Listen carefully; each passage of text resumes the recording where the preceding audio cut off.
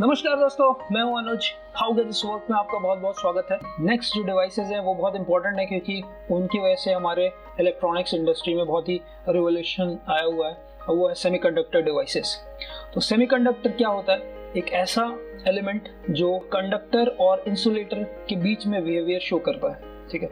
तो इसमें सिलिकॉन और जर्मेनियम एक बहुत ही कॉमन टाइप के एलिमेंट्स हम देखते हैं। और इसमें होल्स और इलेक्ट्रॉन्स ऐसे दो पी टाइप और एन टाइप हम मटेरियल्स का यूज़ करते हैं, जिससे कि हमारे कंपोनेंट्स बनते हैं। बहुत ज़्यादा डीप में नहीं जाएँगे, लेकिन फिर भी आपको थोड़ा सा ओवरव्यू मैं दे दूँ कि सेमीकंडक्टर डिवाइसेस क्या होते हैं। ये इलेक्ट्रिकल जो प्रॉपर्टी है, उनको बहुत ही वेरी करते हैं और हमारे काफ़ी यूज़ में आते हैं और जितने भी आईसीज हैं और जितने डायोड्स ट्रांजिस्टर्स ये सब हमारे सेमी सेमीकंडक्टर डिवाइसेस से ही बनते हैं। तो सेमी सेमीकंडक्टर डिवाइसेस में सबसे पहले हम देखते हैं डायोड्स डायोड्स क्या होते हैं? डायोड्स दो टाइप के सेमीकंडक्टर के कॉम्बिनेशन से बनता है, जो पी टाइप और एन टाइप है। उसको जब हम कंबाइन करते हैं तो बीच में एक हमें डिप्लीशन लेयर मिलती है। उसको ओवरकम करने के लिए हम सिलिकॉन के लिए, जैसे पॉइंट सेवन वोल्ट्स है जर्मेनियम के लिए पॉइंट थ्री वोल्ट्स है, उससे जब हम एक्सीड करते हैं तो हमारा जो करंट है वो फॉरवर्ड डायरेक्शन में फ्लो करता है पॉजिटिव टू नेगेटिव लेकिन अगर हमने रिवर्स बायस कंडीशन में हमने अगर वोल्टेज को दिया तो वो उसको ब्लॉक कर देता है, इसलिए डायोड एक यूनी डायरेक्शनल कंपोनेंट है करंट को फ्लो करने में हेल्प करता है.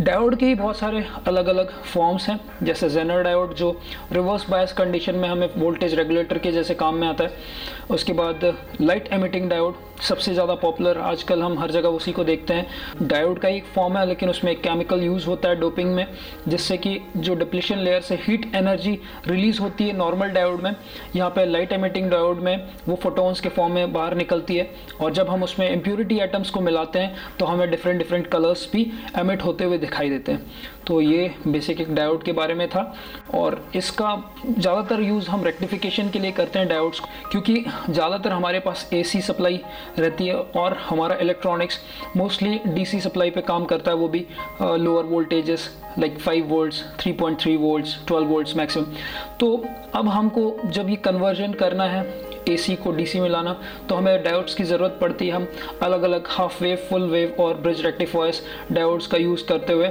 हम एसी को डीसी में कन्वर्ट करते हैं।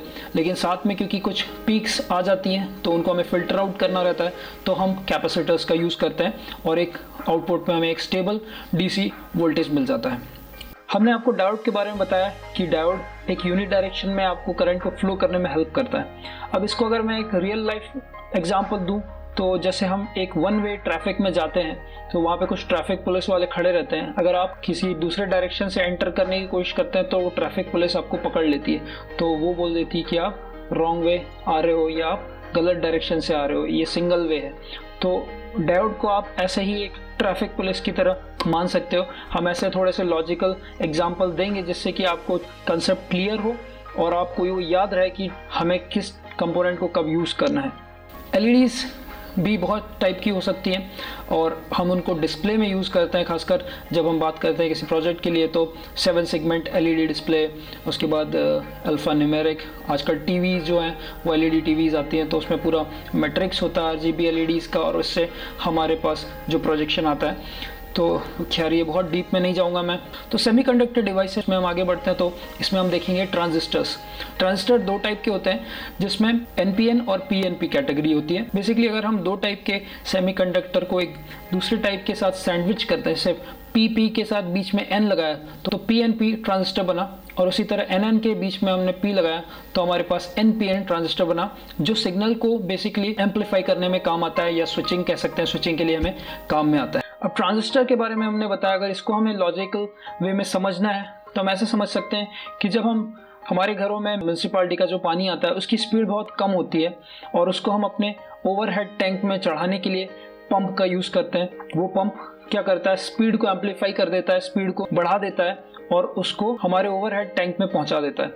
तो हमारा ट्रांजिस्टर इलेक्ट्रॉनिक की भाषा में एक पंप ही है, जो सिग्नल को एम्पलीफाई करता है। सिग्नल क्या है ये मैं आपको बाद में बताऊँगा कि सिग्नल क्या है इसके बारे में एक पूरा वीडियो रहेगा हमारा।